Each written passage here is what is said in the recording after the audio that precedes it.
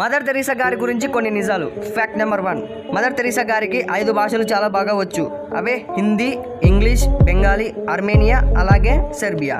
Fact number two Mother Teresa గారు పద్దెనిమిది ఏళ్ళ వయసులో ఇంటి నుండి వచ్చేశారు. తర్వాత వాళ్ళ కుటుంబ సభ్యులను కూడా చూడలేదు. Fact number three Mother Teresa గారి దగ్గర మొత్తం నూట ఇరవై నాలుగు అవార్డులు ఉన్నాయి.